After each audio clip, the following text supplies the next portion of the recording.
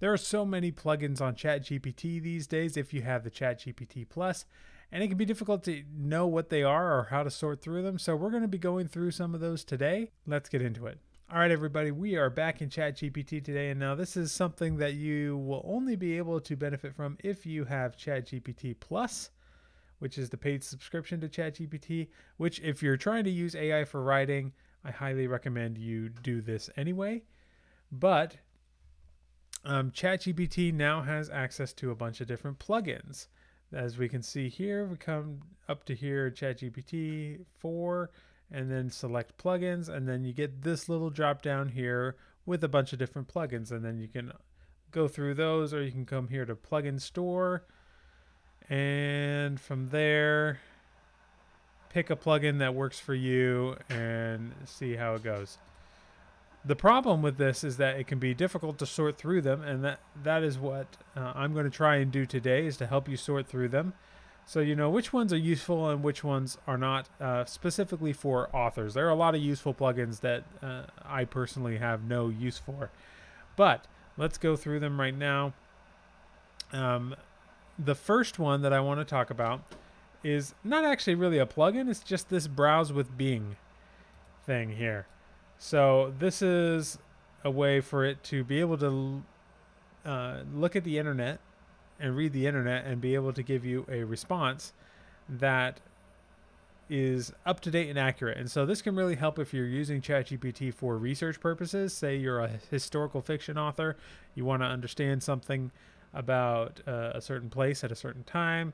It could be useful in that regard. It could also be good for just pulling up straight facts. So, for instance, let's say who won the Super Bowl in 2023.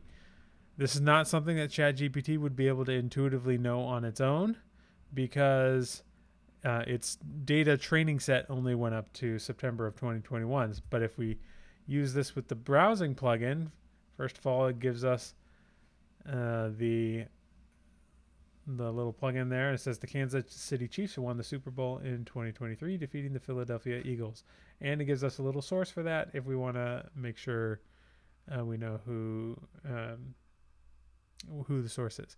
So that's plugin number one. I know it's not really a plugin, but it's it functions like one, and it's actually really really useful at times, especially if you're doing research. So let's do another one go back to plugins here. Another one that I find kind of useful in, in certain situations is this one called AI Tool Hunt. Uh, make sure everything else is unchecked right now. AI Tool Hunt. Now, this is a plugin that will help you find other AI tools. So, say there's something specific you would like to use AI for, like find me an AI tool to create animated movies. This is something that the technology is getting there. It's not quite there yet, but I would love to be able to create like an animated adaptation of a story or something like that. I think that's just a few years away before that will be absolutely possible for authors like ourselves.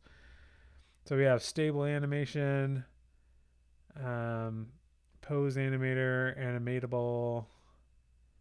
Gives us a whole bunch. This is actually a lot more. Now, Wonder Dynamics I have heard of. They're actually pretty cool. Um, I haven't heard of most of these others, so this might be a good way to look through all of those AI tools out there and really explore and see if any of them are worth looking at. Um, so that's tool number two. Tool number three, if we go back here to the plugins, is a little plugin called, we'll uncheck this one here, Prompt Perfect. So this plugin is pretty simple. You make sure the word perfect is in your prompt and it will try to help you come up with a perfect prompt. Now, if you are familiar with prompt engineering and you're good at it and you've done a lot of work to create craft and create your prompts that are giving you exactly what you wanted, I still think that is going to be a higher quality than what this gives you. But as with AI in general, um, using a tool like this is actually a really good way to give you some ideas that you might not have thought of on your own. So let's just say craft a perfect prompt to generate a character profile for a fiction novel. And that should activate the plugin. Yep, it's activating that plugin. And here we go. Here's a comprehensive prompt that will yield a detailed character profile for a fictional novel. Name the character, age and physical description, character and up, or background and upbringing, personality traits, strengths and weaknesses, hobbies and interests, occupations and skills, motivations and goals, relationships with other characters, etc., etc., etc. This is this is pretty good. That's a a good prompt for a character profile. Um, I've seen it do better, but we could try another one. Give me a perfect prompt for brainstorming novel out or let's say book ideas. This is kind of a fun plugin. I've actually played around with this one a fair amount. So genre, theme, settings, characters, plot. Notice it's given us a framework, and I have talked in other videos about the importance of frameworks to prompting. And so this is basically giving us that, which we can then plug back into ChatGPT and and use. Um, so yeah, this is a good place to kind of brainstorm your prompts and figure out exactly what you want to do there. All right, let's move on to the next plugin, which this was just a little fun one. I don't think it actually has a whole lot of practical usage, but it's called Creature Generator. And this is just a quick plugin that allows you to create a random creature, and its main focus is to be used in role playing games, but there's often, as many authors know, uh, a large overlap between role playing games and fiction. And fiction writing specifically, it's kind of the same sort of creative process. So, create a random monster for me. That should activate the plugin. All right, so it's asking us what environment this creature lives in. Please choose one of the following. So we have grassland, desert, icy forest, swamp, underwater mountain, and underground cave. Let's say swamp. And now it's using the creature generator.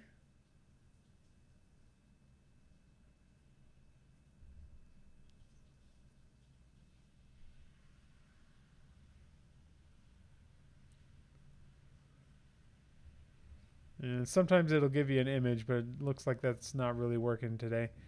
Um, but we got the Swamp Dweller, very original. Gives us a little bit of a description for the Swamp Generator and uh, some stats if you're into role playing. That can be useful there. Um, so that's that's kind of just a fun one. Uh, I don't know how practical it is for authors, but I thought I would include it.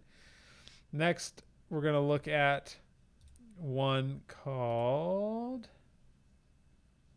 WebPilot. WebPilot is unique because it allows, unlike the browsing plugin, which will kind of search the internet for something, WebPilot lets you look at a specific URL. So let's go to my website, mythbank.com, and choose an article, uh, let's say about Avalon. And we're going to copy and paste this into ChatGPT and say we're going to uh, let's say can you give me a summary of this URL or of the content at this URL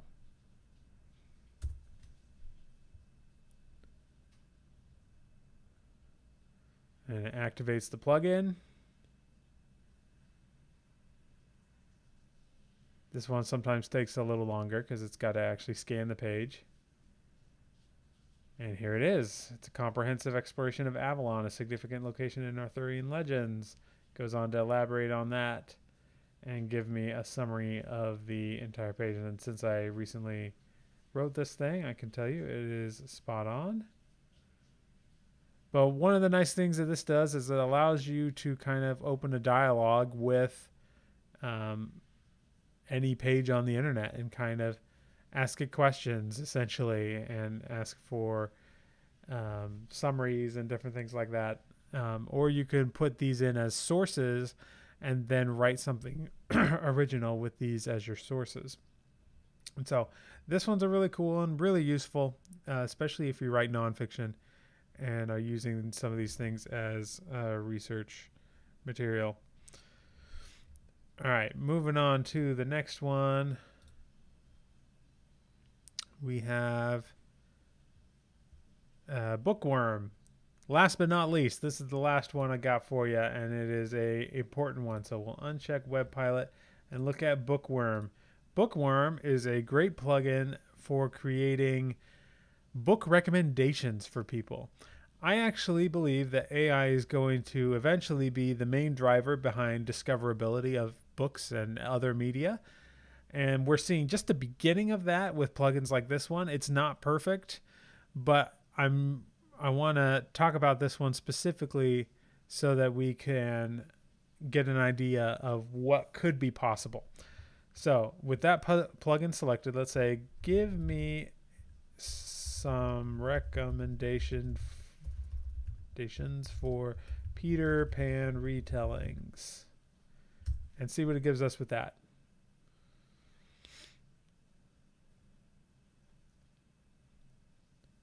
Okay, gives us it's asking us for a little clarification. Uh, do we want them that stay close to the original story or more creative interpretations? Let's say more creative interpretations, please. Oh, and I forgot to answer the last little bit. Uh, adults. Now it's using Bookworm. Activating the plugin. And it should give us a number of books. And look at that. It gives us an image. It gives us a link to Amazon. Looks like that's an affiliate link to Amazon um, with the. I assume this is how this plugin makes money is through affiliate to Amazon. Peter and the Starcatchers. I've actually heard of that one. Alias Hook, a novel. These definitely look well, especially this first and last one here. Definitely look like they are um, good recommendations for adults, like I asked. And so this could be a really interesting thing going forward. And I would encourage you, uh, if you have readers, uh, to maybe start playing around with tools like this because I think they're going to be important in the future. I did test this one out quite a bit in the past, and uh, I tried. I straight up asked it to show my books, and it didn't show them. And so I don't know what database they're pulling from, but it doesn't seem to be very comprehensive. I don't think it's looking at every book on Amazon. And so that's a little bit of a problem. But again, these tools are just in their infancy. And so it's only going to get better from here. This is the worst it's ever going to be, which is the crazy thing about AI. Uh, it's only going to get better. Uh, but regardless, I think this is actually a really cool uh, plugin that to play around with or to encourage your readers to play around with if they have ChatGPT subscriptions.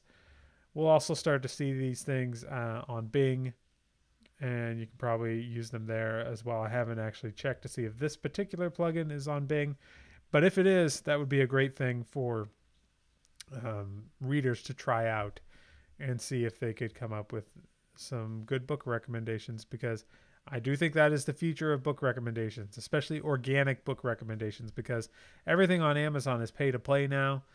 And there we've really lost that organic uh, reach that made so many authors uh, into successful authors early in the the early days of KDP.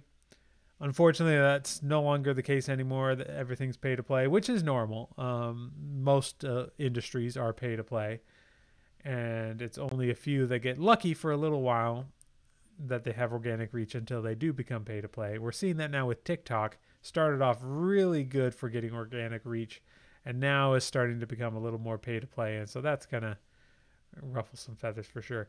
But thank you for joining me on this video, and I'll see you then in the next one.